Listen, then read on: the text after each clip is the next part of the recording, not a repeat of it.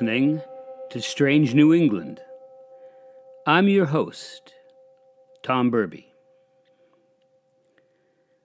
The Strange Voyage of the Charles Haskell.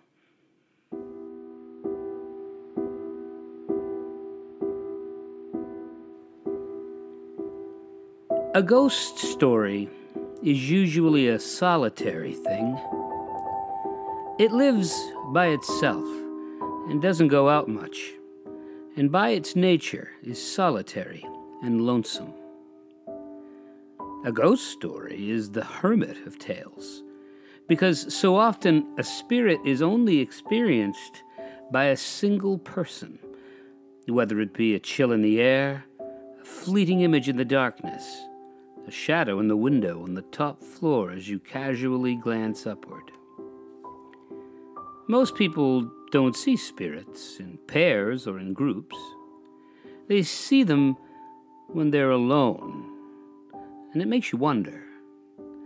If you're an imbiber of such stories, if most of them might simply be creations of the mind, unintended tulpas of the imagination.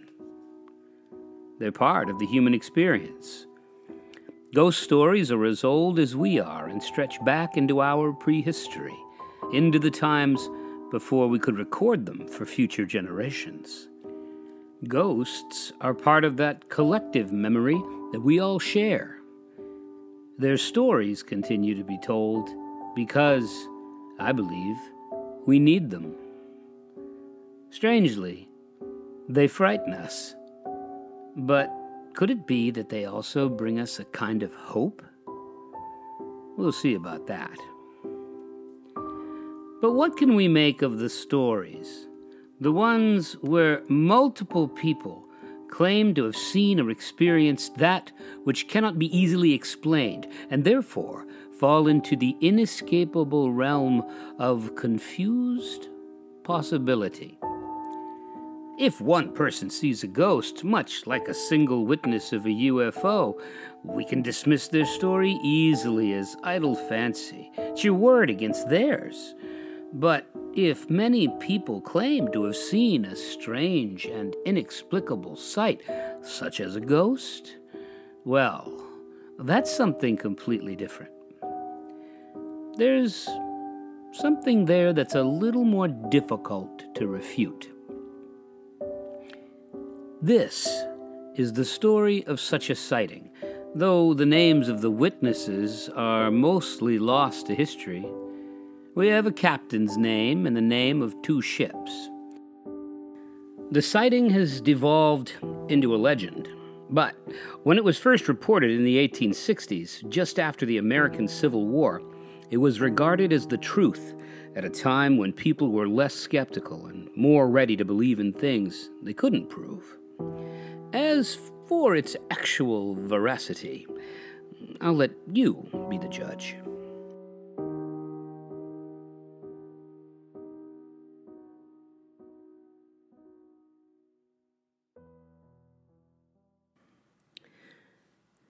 The Charles Haskell was a fishing schooner built in Boston. A two masted ship, fast and efficient, built for cod fishing in the Atlantic, where ships like her went for extended periods, for weeks or even months at a time.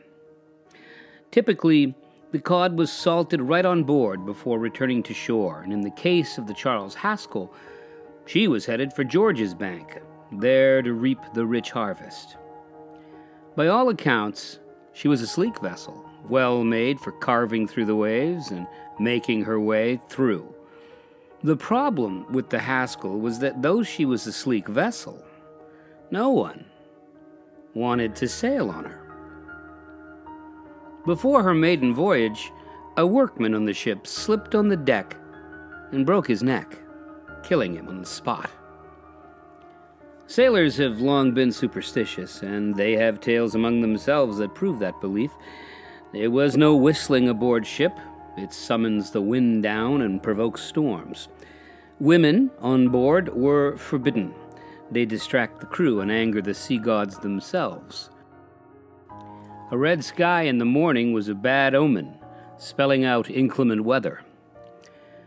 It isn't hard to imagine why a sailor might not want to serve on a brand new ship that had been christened by the death of a man. Her owners couldn't even find a captain, but as must happen in every good story, a captain was eventually found, a man named Curtis, and he was a Gloucester man. And he found a crew all right, mostly fellow Gloucestermen like himself.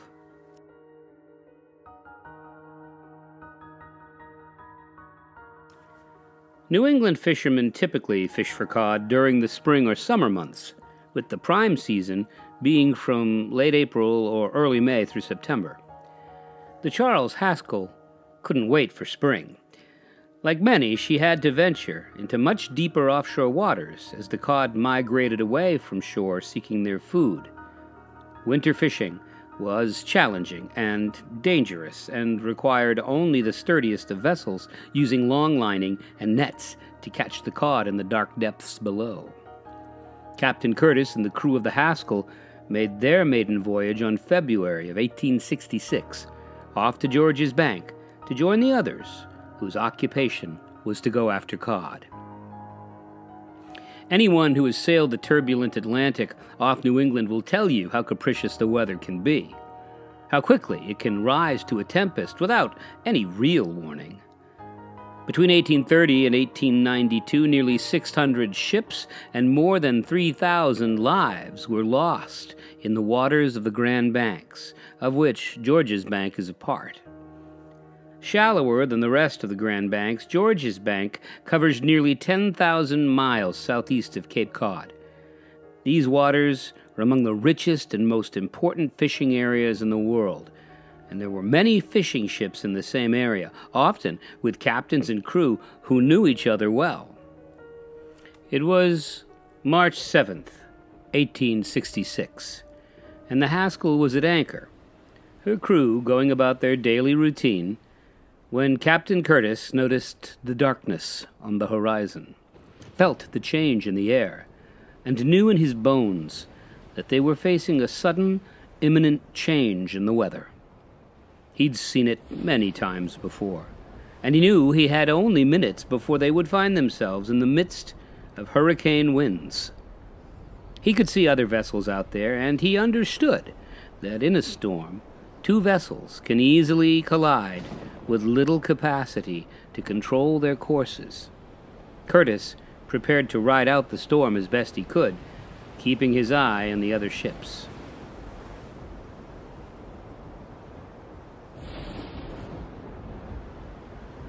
As the wind picked up and began to howl, the crew understood that they were in grave danger.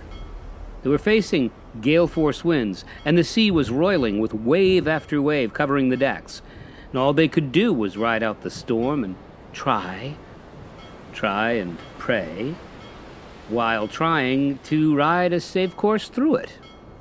And then, as the sky grew dark and waves thrashed, Captain Curtis saw another schooner.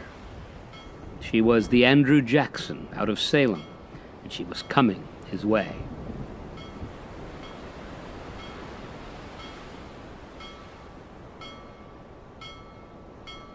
He knew the captain, knew some of the crew. And then it occurred to him that his own life and the lives of his crew were in peril as the bow of the Andrew Jackson rushed quickly towards the Charles Haskell.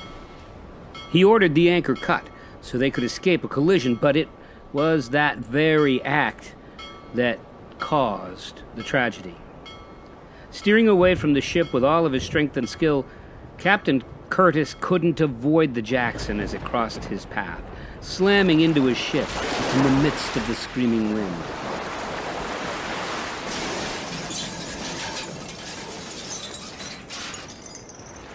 The crew of the Charles Haskell held on for dear life, trying to assess their situation. And as they waited for word, they watched the Andrew Jackson quickly slipping beneath the waves, taking her crew to a watery grave. All hands were lost. The Haskell was damaged and limped back to port when the storm abated, making for St. John's, Newfoundland. Such was the fate of the Andrew Jackson and her crew. Those who go down to the sea in ships don't always have divine intervention to save them. Some cry for help and do not receive it. The Charles Haskell's crew made it home. They got to see their families again. Their lives went on from day to day, and the following year, her damages fixed, the Charles Haskell set out again for the Georges Bank. And that's when something inexplicable happened, something beyond any understanding.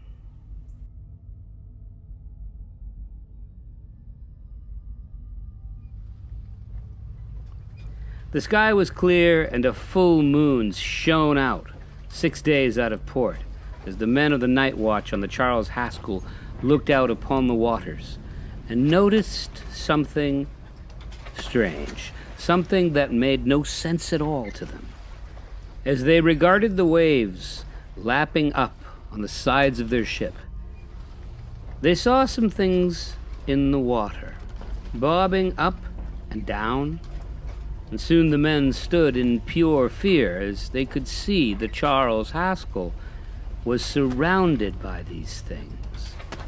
And then they understood what they were seeing in the moonlight human heads bobbing up and down with the waves. And then, to their amazement, the heads turned into men in oilskins, and they slowly climbed up the side of the Charles Haskell, lifting themselves up the railings and onto the deck of the ship. Speechless, nearly unable to breathe through fear, the men of the night watch stared in wide eyed wonder at the watery forms. They were as silent as the tomb. They had no eyes, only empty sockets. The night watch called Captain Curtis, and they watched the ghostly crew together, each spectral figure taking a station and going through the motions of baiting the lines and sinking them into the water, for all intents and purposes, fishing for cod in the cold light of the full moon. They worked the lines all night long until the approach of the morning, when, in a strange, rewinding fashion, they slipped over the sides of the Charles Haskell and back into the sea falling below the waves, returning to the depths. The men of the night watch spread the word to the nervous crew. There was a portent here, a warning. This was a sign from beyond. All day the crew whispered among themselves, and the captain knew that his fishing season was about to be cut short. He called them together and told them that the rumor they'd heard from the night watchman was just that Nothing unusual had happened. The men were imagining it. He was there, and he saw nothing. He told them to go back about their business. There was fishing to do, and they were Gloucestermen after all. But no man on the Charles Haskell slept that night. They waited for the light of the full moon to bathe the waters in its ivory glow, and sure enough, the ghostly crew emerged from the waves, arose, and climbed onto the Haskell once more. The entire crew watched in abject terror as the phantoms went about their work as they had done the night before. One of the crew counted them. Twenty-six. Twenty-six was the number of men who perished aboard the Andrew Jackson out of Salem when she collided with the Haskell the prior year. Was this the crew of the Andrew Jackson returning to the Haskell to give some sort of warning? And then, as the cold light of day began to approach, the ghostly crew slipped back over the side, but this time, this time they didn't sink below the cold and unforgiving waves. They walked on the water in single file in the direction of their home port of Salem, disappearing as the light of the morning sun erased them from the world.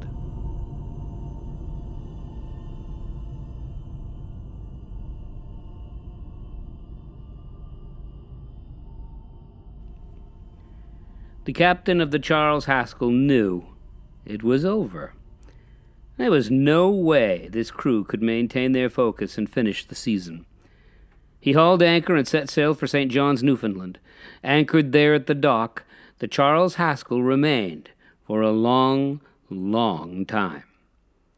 The captain and crew took passage home on another ship, and no one, not a single person, would go aboard the cursed ship, though she was seaworthy and ready to sail.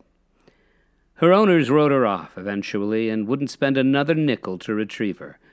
They knew well, as did Captain Curtis, that the Charles Haskell was now a hoodoo ship, doomed from its very beginning to its inglorious end. But there was one more voyage the Charles Haskell could make. Taking up valuable space at the dock in St. John's, the ship was declared abandoned and considered salvage, but no one wanted her. The harbor master eventually ordered that she be towed to the deep waters and set aflame to make room for other ships at the dock. She was towed out to deep water, and those who were there set her on fire to burn her down to the waterline, and then to sink her beneath the sea, erasing her from the minds of men forever. But when the sailors who were sent to sink her came home, word spread among the mariners that they'd seen something they couldn't explain.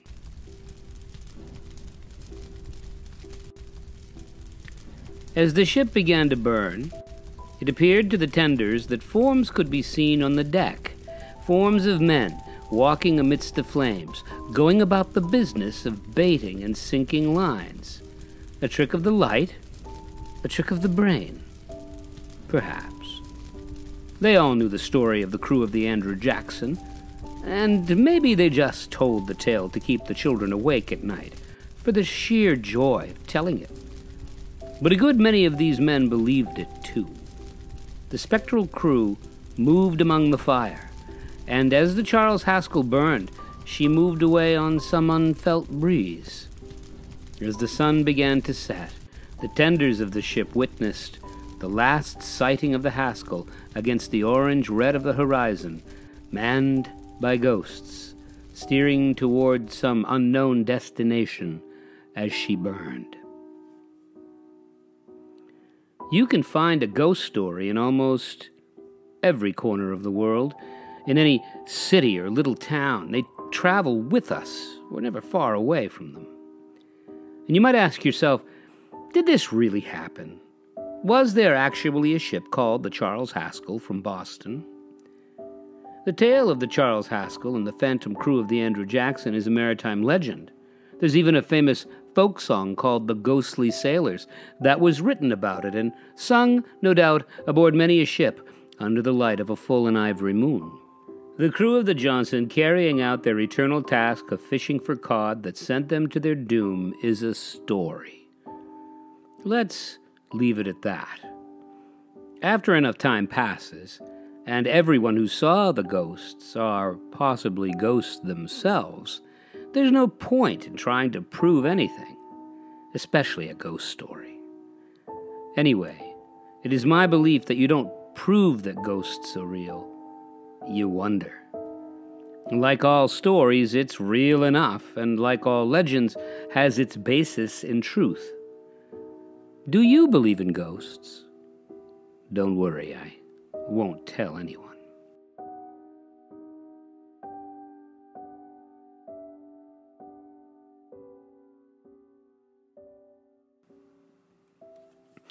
You've been listening to Strange New England. Original text written by Tom Burby. Audio engineering by Jim Burby. And original theme music composed and performed by Jim Burby. Additional music by Myuu. Look him up on YouTube. That's M Y U U. This episode and over 50 others are available at strangenewengland.com, where you can also read the text, see art and imagery that augments all of these stories, and all of this is brought to you free of charge, and we do no advertising. None. We're one of the few podcasts that's done just for you and we don't make a penny on it. In fact, it costs us money, but we figure you're worth it. I'm Tom Burby, your host, and we invite you to join us again for another strange adventure in strange New England.